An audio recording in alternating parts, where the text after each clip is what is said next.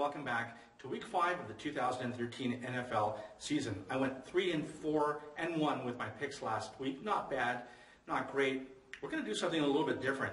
On my website, gioknows.com, I have some tools that I, I like to use to help me with my picks. One in particular is called Who Will Win, and it takes 13 different categories and gives a, a, a click to each of the teams who are winning in that category. And we're going to use that a lot with my picks against the spread and also for the over-unders. And here they are.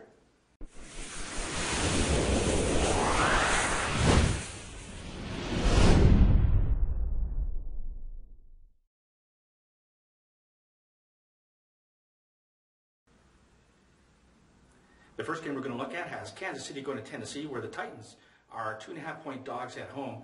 According to my website, gioknows.com, in the tools section, I have the Chiefs as 10 to 3 favorites in the categories that I follow. They're actually 10, 2, and 1 as one of the categories is tied. There's a little bit of a bug in the system, which always gives it, it to the home team. Nevertheless, Kansas City is, uh, is favored in 10 of the uh, 13 categories. You know, both teams have been very good with turnovers, plus nine each. However, Jake Locker's out for Tennessee, and he's having a very good year. In comes Ryan Fitzpatrick, who is a bit of a, a turnover machine. At least he was in Buffalo.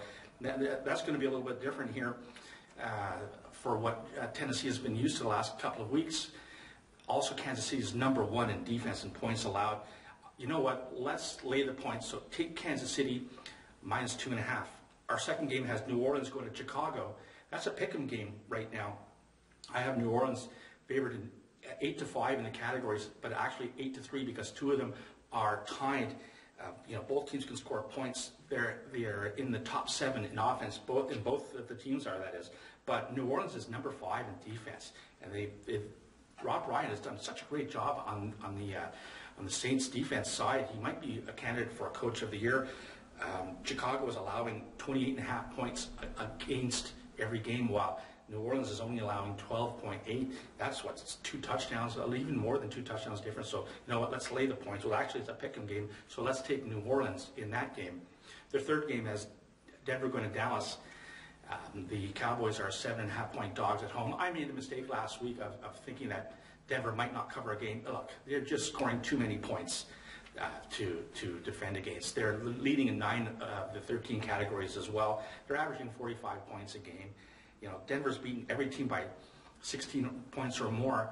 Dallas has got two wins, but they, they've come against the 0-4 Giants and the 1-3 St. Louis Rams. You know what? Lay the points. Take Denver minus seven and a half. And the fourth game we're going to look at has Detroit going to Green Bay. The Packers are seven-point favorites at home. This is a little closer. The Packers are seven to six. Uh, they have the seven to six edge in the 13 things that I, I follow, but that might be a little bit too many points here. You know, uh, Reggie Bush has made all the difference in the world for Detroit. It, he's exactly what that offense needed. And their only loss this year, Detroit's only loss, came when he didn't play. The Lions were 0-6 last year in their division. They have learned how to beat teams in their own division. They beat my Vikings so far, and they trounced the, the Bears. I'm not saying they're going to win this game, but that's a lot of points for a divisional matchup. matchup. So let's take Detroit plus seven.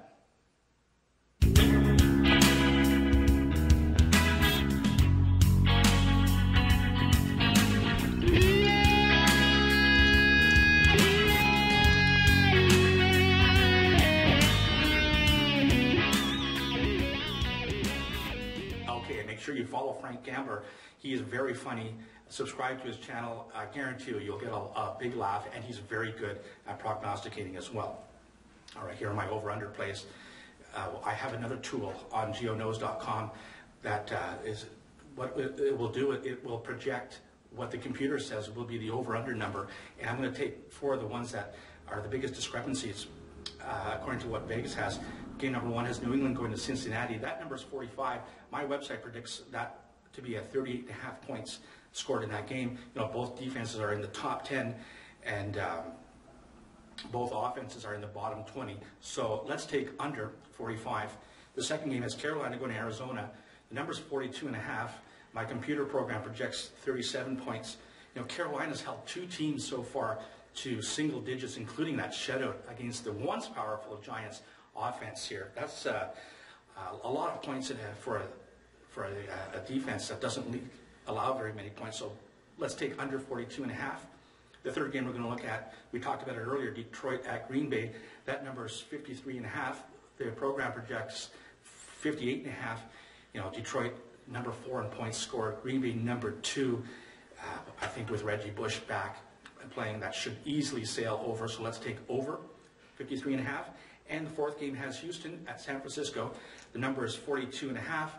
My program projects 46 points in this game. Uh, you know, where's Houston's defense gone? This was a top outfit from last year. They've allowed 23 points or more in every one of their games. San Francisco's had the extra couple of days to even figure them out further. So you know what? Let's take over the 42 and a half.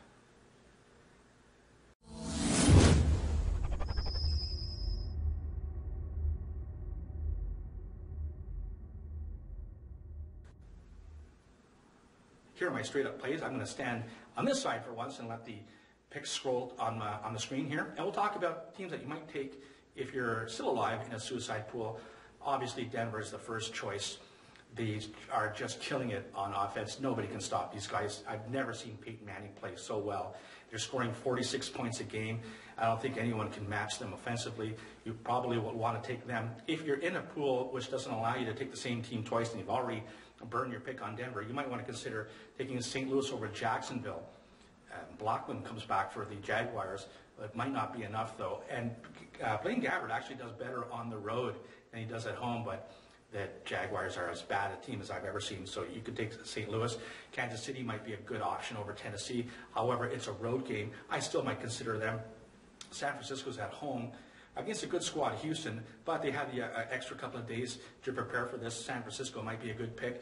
I will be, be taking Atlanta over the New York Jets.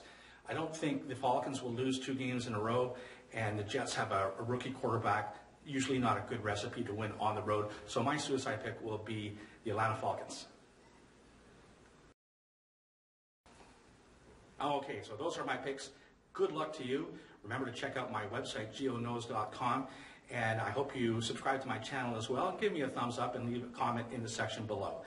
And also, check out some of my other videos like how to win a suicide pool and my rankings for every week. Okay, for the Gio Knows channel, I am Gio.